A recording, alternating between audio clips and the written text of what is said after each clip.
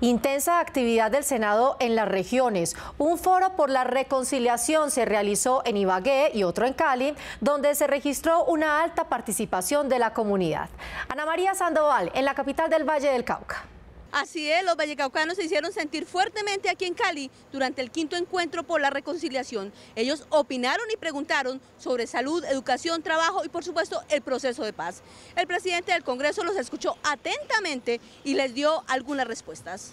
No descuidar los líderes comunales, porque son los que más conocen de esta problemática. Quiero que hoy, señor presidente, se meta en el cuento de los jubilados de este país. Con nutridas intervenciones, líderes sociales y víctimas del conflicto armado pidieron aumentar la cobertura en educación, salud y sobre todo crear programas sociales para las más de 500 mil víctimas que ha dejado la guerra. Esperamos poder incidir en ciertas decisiones que se tomen en función del bienestar de la sociedad, en función del bienestar de las víctimas, de las comunidades étnicas que históricamente hemos sido afectados por el conflicto armado de este país.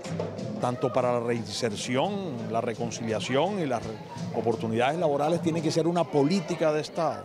Una política de Estado que incluya, por ejemplo, el SENA en el tema del emprendimiento y apoyo para generar su propio empleo.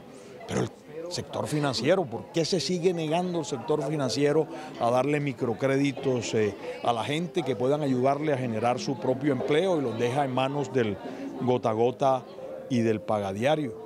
De manera que al estar en estos encuentros regionales nos reafirmamos en la necesidad de, apoyar la implementación de la paz de Colombia. Una gran audiencia, gran participación a propósito de la defensa de los derechos de los 8 millones de víctimas pero también de los derechos de los jubilados, de los pensionados.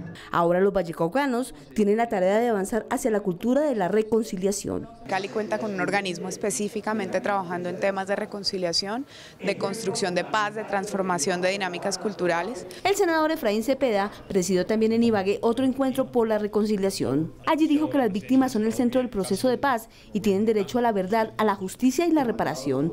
Además que se debe mejorar la calidad de vida de los campesinos y lo primero es que puedan acceder a la tierra. Que la gente esté tranquila con sus empresas del sector agropecuario, que sigan la producción, que sigan generando empleo, que nada pasa. Pero he dicho que las tierras de los campesinos, que pasan de generación en generación y no tienen títulos de propiedad, ¿por qué no le otorgamos ese título de, de, propiedad a los campesinos? El Tolima Grande necesita avanzar en infraestructura para activar la economía en las zonas más afectadas por el conflicto.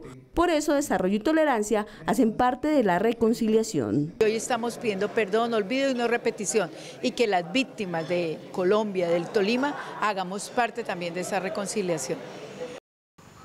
Al finalizar el encuentro, las víctimas les pidieron a los senadores elevar sus preocupaciones al gobierno nacional para que rápidamente se implementen todos los programas del posconflicto. Esa es toda la información desde la ciudad de Cali. Feliz noche.